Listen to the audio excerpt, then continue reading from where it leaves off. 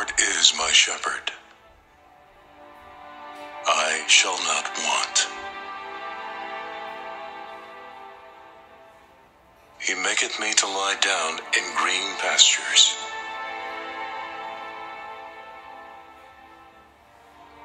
He leadeth me beside the still waters.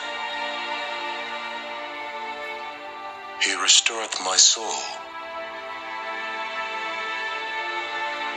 Leadeth me in the paths of righteousness for his name's sake.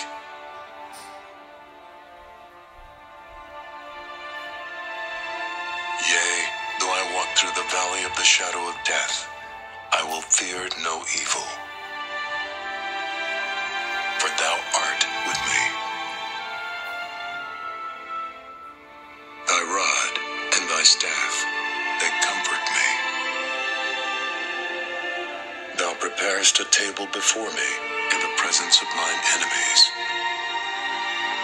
Thou anointest my head with oil. My cup runneth over.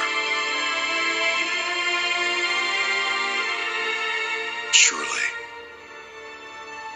goodness and mercy shall follow me all the days of my life, and I will dwell in the house of the Lord